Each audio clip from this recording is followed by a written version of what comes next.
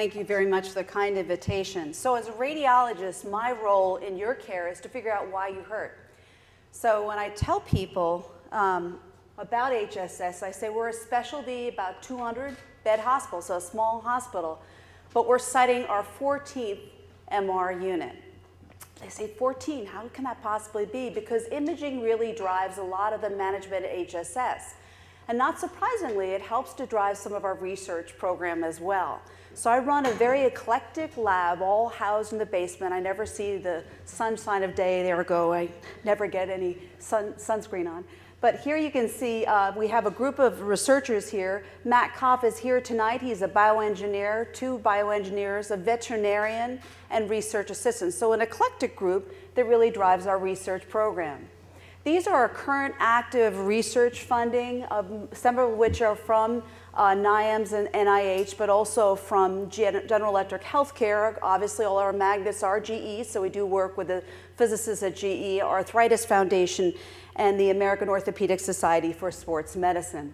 So when we think about osteoarthritis, I hesitate to say that regardless of how old you are in this room, probably everybody has osteoarthritis, whether you're symptomatic or not. And traditionally, we use things like x-rays, and that's just an AP stand of the x-ray. The problem is x-rays show you bone, and they don't show you cartilage. Cartilage is soft tissue. So to see it directly, we have to use MRI, and MRI provides us with a direct visualization of the gray articular cartilage. We have shown previously, some time ago, almost 20 years ago, early in my career, that MR could predict what our surgical colleagues would see at surgery and would do so with a great degree of reproducibility. So you could pick up an MR and you could make a diagnosis very reliably. Well, let's compare that to how well our surgical colleagues do. In a recent study, and this, what's called a kappa is, is how a perfect measure of reproducibility would be a 1.0. So we were pretty close, and this is where our surgical colleagues are. Sorry, Todd, just kind of lagging behind imaging there just a little bit. So this is just what they see at arthroscopy, which is the tip of the iceberg. So we can use imaging metrics to actually model cartilage. So we can create these kind of cool images. And this is a piece of the femur or the, the thigh bone cartilage has been color coded according to thickness. Now, why is this important? Well, for some of my colleagues and co-investigators, very important, such as Suzanne Maher, who actually needs to tissue engineer things like cartilage and meniscus, and she relies on Matt and myself to develop templates for her studies to give her these digital models. So how is this translational? Maybe good for an NIH grant, but how is it translational? Well, we take this four-year-old boy who had a bad accident, and the growth plate or the cartilage in his distal thigh bone has been interrupted. So what we've done in our lab is we've created a 3D model, and this is what the growth plate looks like. The blue is the area that's closed, that's abnormal, and we have validated. It. So that means that a pediatric orthopedic surgeon can pick up this model and know very reliably exactly what percentage of that growth plate is closed. This is important for things like limb length discrepancy to know exactly how much a child is going to have a problem with and how the kind of surgical intervention they have to do. This is another example. This is a child that was treated with an elbow fracture in New Jersey. And so he came to us, and this was the maximum amount of flexion he could do. So he couldn't bring his fingers up to his mouth to feed himself. He had really, really stiff elbow.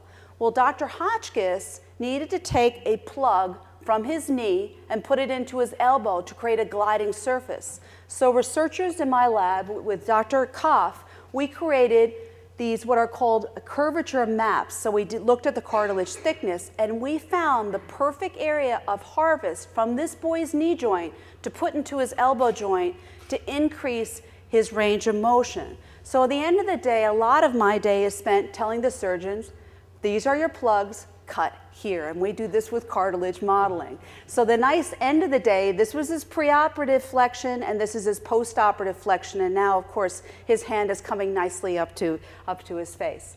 So we know that cartilage can sometimes be a problem with injury. So some of you may be skiers. If you ski, you're at risk for ACL disruption. Cartilage resists compression but not shear, and Peter Torzilli told me, taught me that about 20 years ago. And I would submit we see the traumatic chondral injury every time you tear your ACL, which is a very common injury. We see compression over the condyle, and this is a, a lateral view or side view of the knee, in the setting of an ACL tear and a shear. And you can see that gray bit is a free fragment in the meniscosynovial recess. So we looked at ACL disruption over time, and we try to figure out when does the cartilage start to go bad.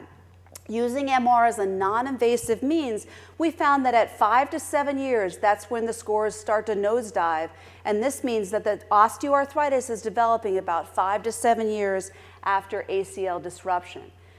What was fascinating is the literature up to this time only said that about half of the patients that had an ACL injury sustained a cartilage damage. Based on our data, it was 100%. 100% of people that tear their ACL sustain a cartilage injury that we can see non-invasively at MR. And is this just, just uh, esoteric research question? Not really. These are what are called subjective outcome instruments. These tell us about pain and function.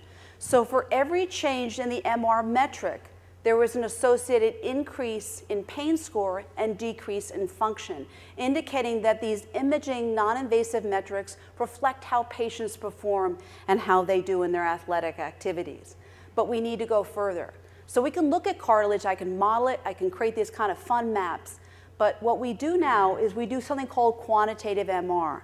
These color maps are you can think of as a non-invasive microscope. So this is one of my research fellows who had absolutely no athletic aptitude and therefore perfect cartilage. So if you look at this, this is what cartilage should look like. So you go from orange down to the, the and this reflects Really, these are, uh, uh, MR reproducible parameters. This is one of my field engineers who's always on his knees fixing one of the magnets.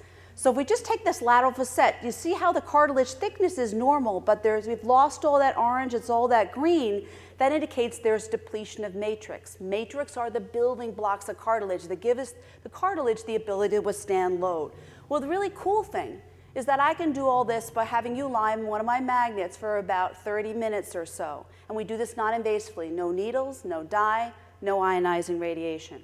So this is why they're clinically helpful. The only, this is a 15-year-old girl who's had a portion of her meniscus taken out. The only procedure that is FDA approved in the United States is meniscal transplantation. That's taking a cadaveric meniscus and putting it in the knee joint. When the, our sports medicine colleagues sit and talk to mom and dad, these are the data they're going to say about disease transmission. So there's a risk. Albeit small, there's still a risk. Well, we know that meniscal transplantation will fail if the arthritis is already too far gone. So to that end, we use quantitative MR we see that her what I call grayscale images look pretty good, but look at all this green. So I can say very objectively, because these are numbers with standard of deviation, that this 15-year-old girl already has osteoarthritis. We can look at cartilage repair. This is a cartilage repair technique. Now the surgeons are going to see this. They're going to see hypertrophic fill and they're going to think that looks great. Very good fill with a cartilage repair procedure.